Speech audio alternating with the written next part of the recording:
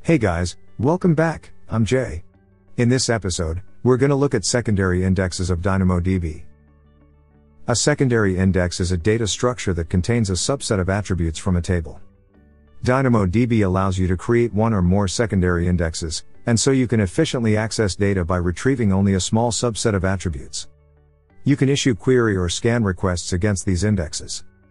DynamoDB supports two types of secondary indexes, global secondary index and local secondary index. Global secondary index or GSI is an index with a partition key and a sort key that can be different from the base table. Queries on the GSI can span all of the data in the base table, across all partitions.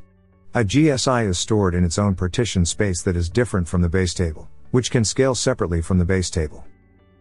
Local secondary index or LSI is an index that has the same partition key attribute as the base table, but a different sort key. The partitions of an LSI are scoped to a base table's partitions that have the same partition key values. LSI shares the same partition space with the base table. Every secondary index is associated with exactly one table. When you create an index, you define an alternate key for the index, such as a partition key and a sort key. You also define the attributes that you want to project or copy from the base table into the index. DynamoDB copies these attributes into the index, along with the primary key attributes from the base table. You can then query or scan the index, as you would query or scan the table. Every DynamoDB table can have a maximum of 5 LSIs, and an initial quota of 20 GSIs. You can request a quota increase of GSIs using AWS support. The primary key of a global secondary index or GSI can be either simple or composite primary key. A simple primary key is made of one attribute known as the partition key. A composite primary key is composed of two attributes, a partition key and a sort key. The GSI partition key and sort key can be any attributes in the base table, as long as they are string, number, or binary type. You can specify a GSI partition key that is different from the one in the base table. You can create GSIs when you create a new table. You can add a new GSI to an existing table, or delete an existing GSI from a table. You can perform query or scan operations on GSIs. Queries on GSIs only support the eventual consistency. A GSI has separate RCUs and WCUs from the base table. Read requests on the GSI consume capacity units from the index. Updates on the GSI also consume capacity units from the index. With GSI queries or scans, you can only request the attributes that are projected into the index. DynamoDB doesn't fetch any attributes from the table. The primary key of a local secondary index or LSI must be a composite primary key, which is composed of a partition key and sort key. The LSI partition key is the same attribute as the partition key of the base table. The LSI sort key can be any base table attribute, as long as it's a string, number or binary type. You can only create LSIs when you create a new table. You cannot add a new LSI to an existing table after its creation. You can perform query or scan operations on LSIs. Queries on LSIs support both eventual consistency and strong consistency. LSI uses the same RCUs and WCUs of the base table. Read requests on the LSI consume capacity units from the base table. Updates on the LSI also consume capacity units from the base table. With LSI queries or scans, you can request attributes that are projected into the index, as well as those are not projected into the index. DynamoDB automatically fetches those attributes from the table. When you create a GSI or LSI, you need to add a projection to the index. A projection is a set of attributes that are copied from the base table into a secondary index. The partition key and sort key of the table are always projected into the index. You can project other table attributes to support the query requirements. When you query an index, DynamoDB can access any attributes in the projection. DynamoDB provides three options for projections. Their keys only, include and all.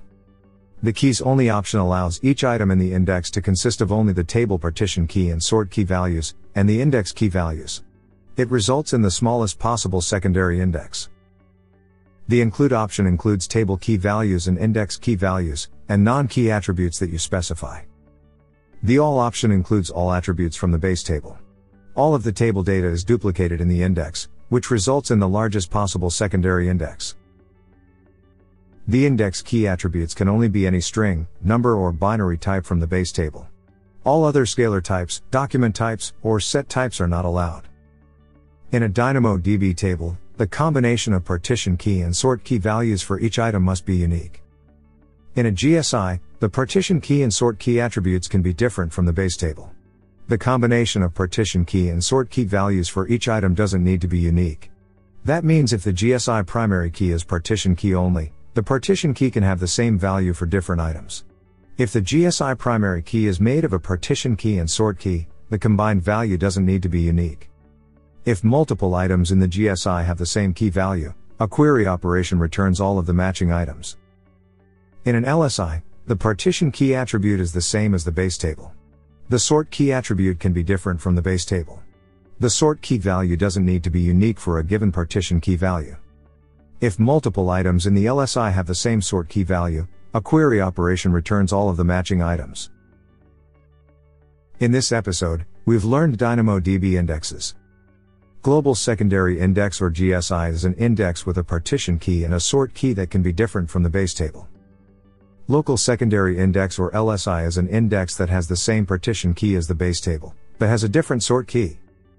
You can create GSI when you create a table, add a new GSI to an existing table, or delete an existing GSI from the table.